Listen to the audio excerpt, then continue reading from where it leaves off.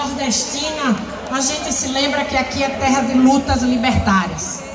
Aqui, presidente Lula decidiu vir andar na rua, junto do povo, porque esse é um dia de muitos significados.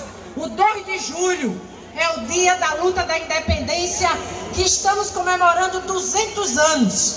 Mas é preciso que se diga que nós estamos hoje dizendo que a luta da independência continua mais do que necessária, porque nós estamos diante de um cenário de ameaça à nossa soberania, à nação, e é por isso a necessidade